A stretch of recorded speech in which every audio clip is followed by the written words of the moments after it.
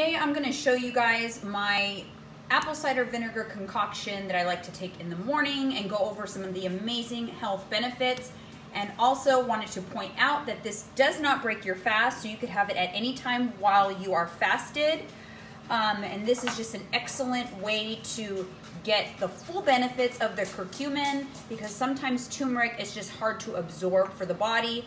So um, I am going to go over what I do and why I do it, and um, yeah, so take So first things first, I have here um, Bragg Organic Apple Cider Vinegar. It is raw, unfiltered.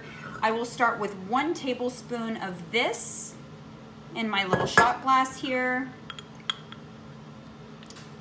Then we are going to do one, probably like a half a tablespoon of this um, this is organic cold pressed lemon juice. And you just want to put a little bit. It really, you just want to splash. So it's probably like a teaspoon. Then I have here, this is turmeric in a liquid concentrate.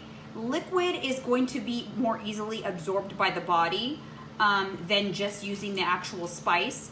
And you're going to be able to absorb that curcumin a little bit better. It's also got black pepper in it, which helps with absorption as well. So you're just gonna wanna take a dropper full of that and put it in the little shot glass. And then I am going to just add some water to the shot glass. And there you have it, you guys. This is the daily ACV turmeric shot that I like to take. Again, it does not break your fast, and I'm gonna go over some of the amazing benefits um, that you're gonna get by doing this daily.